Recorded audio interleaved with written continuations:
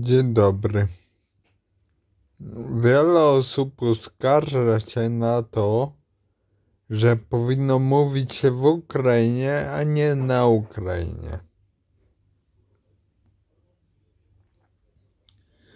Polecam pojechać na Ukrainę, nie do Ukrainy, na Ukrainę i dowiedzieć się, jak oni mówią na Polskę.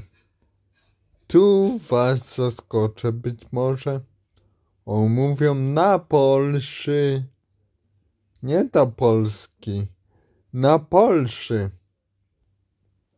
Więc o co robić tym? Nie wiem.